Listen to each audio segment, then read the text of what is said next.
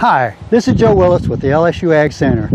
Today I'm going to talk to you about a disease that if you're growing cucurbits, and cucur by cucurbits I mean cucumbers, squash, cantaloupes, watermelons, those sorts of things, this is a disease that you're probably going to see, uh, especially in our area. If we take a look over here,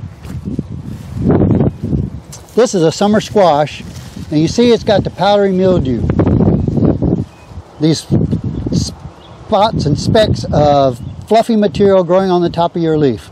And you can see, you can even see there's also see the fungal mats on the underside of the leaf. Powdery mildew likes high humidity and cooler weather. And so, so far we haven't gotten into the summer heat yet, and so you're probably going to see powdery mildew on your cucurbits. So if you see it, what are you going to do about it? Well, there's several fungicides that you can use. You can use a copper-based fungicide. Mancozeb is a good fungicide. But for homeowners, um, one thing which we can really recommend is neem oil. This has been shown to be pretty effective against a lot of fungi.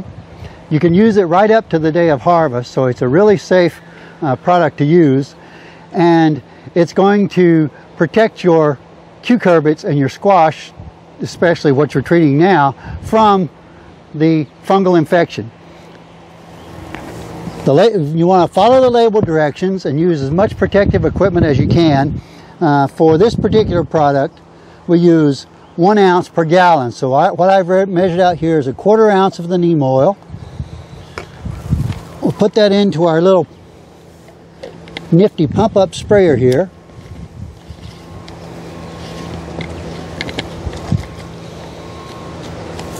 And you'll notice I am wearing protective gloves. Even though the product is relatively safe, it can be an irritant. So uh, use as much protection as you can.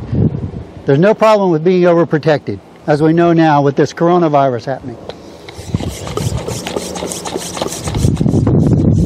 Neem oil is a contact fungicide, so it only protects where it is.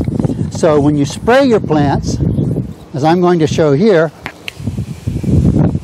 you want to make sure you're covering the entire plant.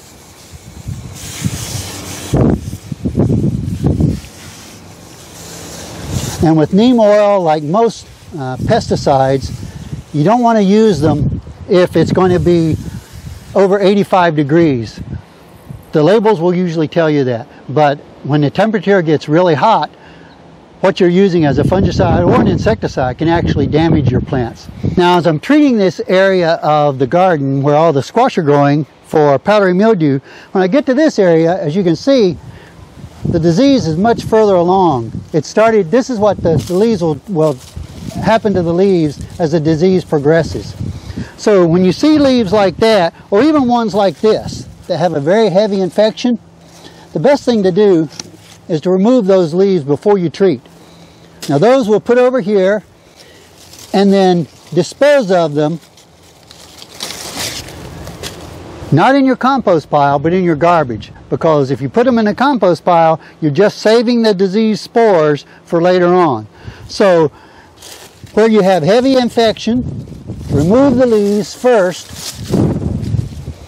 as we've done with this when we move remove a couple of leaves that are heavily infected because these leaves are going to die anyway, so they're not going to be of any value to the plant. So we remove those, and now we treat the remaining leaves with our neem oil.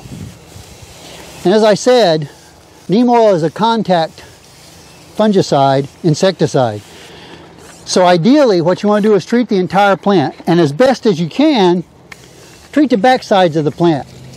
Because even though right now we're treating for powdery mildew, by treating the whole plant like this, we're also going to be protecting it from insect attacks, such as aphids, who will feed only on the underside of the leaf. Now we've gotten that control on the underside as well. For the LSU Ag Center, this is Dr. Joe.